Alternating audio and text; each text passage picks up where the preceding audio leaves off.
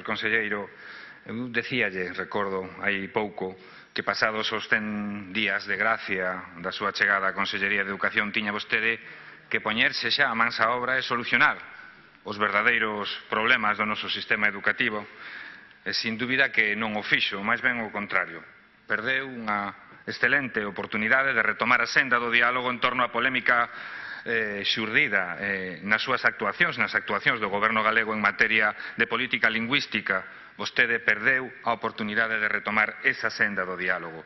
Vostede despreciou, provocou o caos absoluto na nosa comunidade educativa coa aplicación das reválidas en Galicia. Desoiu os grupos da oposición, desoiu aos pais e as nais, desoiu a todo o mundo e os resultados foi un auténtico desastre organizativo das súas eh, famosas reválidas. A semana pasada publicaba vostede ese chamado orden de axudas para a adquisición de libros de textos, ese chamado Fondo Solidario, que causou indignación e enfado a partes iguales nos centros, nos directores dos centros educativos, no profesorado e en todas uh, as familias. É un auténtico desbaraxuste o que vostede está a provocar coas súas decisións e coa súa, a súa ausencia de capacidade mínima de xestión. Yo, tengo que, yo teño que decir con total honestidade. E o tema que hoxe nos ocupa eh, pois penso que vai a provocar un caos moi semellante ao que acabo de, de describir. Temos chegado a tal situación de degradación con o noso sistema educativo que vostedes pretenden aprobar o que sin dúbida é, dende o meu punto de vista, un dos documentos máis importantes para a actividade docente, docente como é o decreto dos currículos de ESO e bachillerato, cando o curso escolar está prácticamente rematado, cando o profesorado está precisamente en fase de planificación e organización do vindeiro curso, cando se están a preparar e elaborar os novos horarios coa nova distribución da carga horaria e vostedes aínda están con estes trámites. Di que empezaron aló polo mes de marzo. A realidade é que chegados a este punto todavía ese proxecto non está eh, terminado nin rematado. Despois, ademais, como vostede se esforzou en decir, eh, eh, de disculpar, de que este decreto eh, tivera sucesivas enmendas á totalidade no Consello Escolar de Galicia e de que este mesmo órgano votara en contra, dende logo, da, eh, do, de adiantar, adiantar perdón, ou avanzar na tramitación deste, deste decreto. A situación é esta, é evidente. Ademais, tivo vostede unha, unha intervención breve, non é que ser breve sexa malo, pero tendo en conta a importancia do tema, liquidar en 20 minutos un documento que ten preto de mil páxinas, donde, como decía, se eh, establecen todos e cada un dos mecanismos que rexen a práctica educativa nos centros. Porque de que estamos a falar cando falamos de currículos? Pois estamos a falar dun documento onde se reflicten os obxectivos da etapa, as capacidades que vostedes agora se empeñan en chamar competencias, os contidos nos referidos coñecementos, as habilidades, as destrezas, as actitudes, a metodoloxía didáctica, non só da práctica docente, sino tamén a organización académica, os criterios de avaliación, todo, todo se reflicte no documento, nese decreto de currículos. Pero non só eso, vostedes engaden tres elementos novos, que non son novos, en realidad son variacións dos xa existentes cunha nova terminoloxía propia da neolinguaxe habitual do Partido Popular as competencias, que como decía antes é unha nova maneira de chamarlle as capacidades e que incorporan este término retrotraen do mundo laboral, en segundo lugar, os estándares de aprendizaxe dentro deste universo de reválidas no que estamos inmersos, os estándares de aprendizaxe son indicadores necesarios para comparar os resultados dos diferentes centros. E, finalmente, os indicadores de logro da ah, programación docente, eh, apartados 21.3 e 33.4 deste decreto, que son simplemente elementos de indefinición a hora de avaliar o sistema educativo. O proxecto de decreto de currículum da ESO e de BAC é todo un himno á antipedagogía.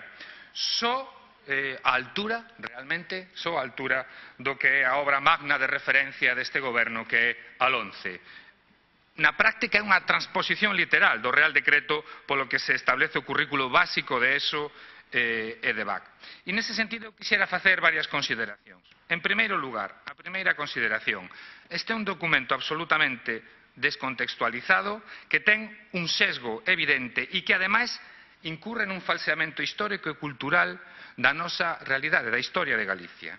Non só porque renuncia a ese porcentaxe, o 45% de contidos que por lei pode fixar a Administración galega, sino que omite feitos e acontecementos fundamentais para coñecer a nosa propia cultura e identidade. Unha, eh, é un documento que ademais fomenta unha construción da personalidade do alumno parcial e sesgada, e dende logo ao marxen, como decía, da nosa realidade histórica. Non fai referencia a revoltas inmardiñas, irmandiñas, non se fala da emigración, por exemplo, un elemento estructural no modelo socioeconómico do noso país. Non fala, por exemplo, das vítimas do franquismo, pero sí fala explicitamente, por exemplo, das vítimas do holocausto. Por que ese agravio comparativo? Segunda consideración. O decreto de currículum de ESO-EVAC é un auténtico plan para a segregación e selección temperado alumnado. Como fai? En primeiro lugar, como xa dixemos, consagrando as reválidas como mecanismo de selección académico. Os decretos que hoxe vostede presentou contemplan a realización dunha reválida ao rematar a ESO, cuarto da ESO, e outra reválida ao rematar o bacharelato, ambas, ambas as dúas, exixibles para a titulación de graduado en secundaria obrigatoria e bacharelato. É unha carreira, polo tanto, de obstáculos que continúa que continúa esa carreira de obstáculos iniciada xa coas reválidas de primaria e que, polo tanto, somete o alumnado a un constante e tortuoso proceso de certificación, avaliación e selección. En segundo lugar, porque estes currículos desterran as medidas de atención á diversidade do currículum e, polo tanto, establecen simplemente como medida de atención á diversidade a repetición, en primeiro lugar, que aparece claramente consignada e cunha importancia, dende logo, sobredimensionada dende o punto de vista pedagóxico, os itinerarios temperás a través da formación profesional básica Por certo, unha formación profesional básica sen medios, sen opcións reais de promoción e sen opcións reais de acadar unha titulación.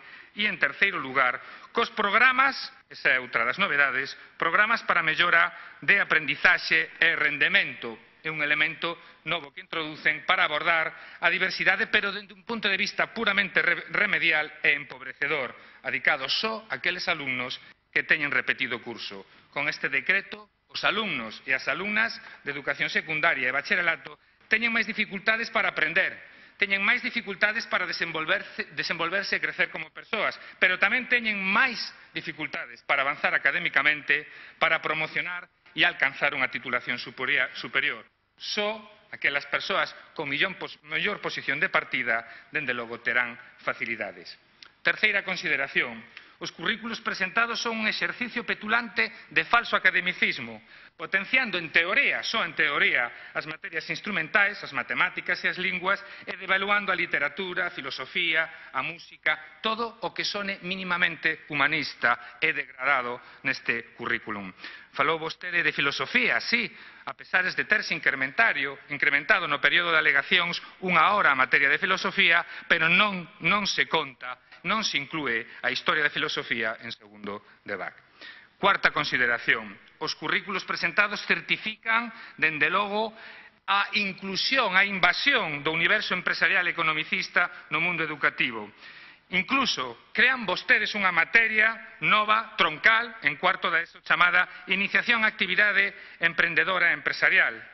Incluso chegan ao punto de convertir en competencia clave ese chamado sentido da iniciativa e espírito emprendedor.